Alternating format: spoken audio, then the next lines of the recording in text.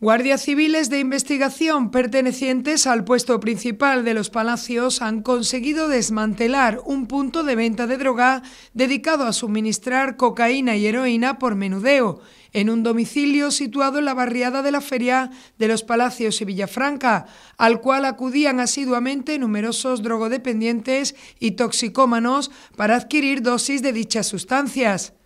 Tras ser autorizados por la autoridad judicial en Utrera, durante el registro de dicho domicilio se encontraron en su interior tres invernaderos ilegales, uno de ellos indoor, en el que había más de 600 plantas de marihuana.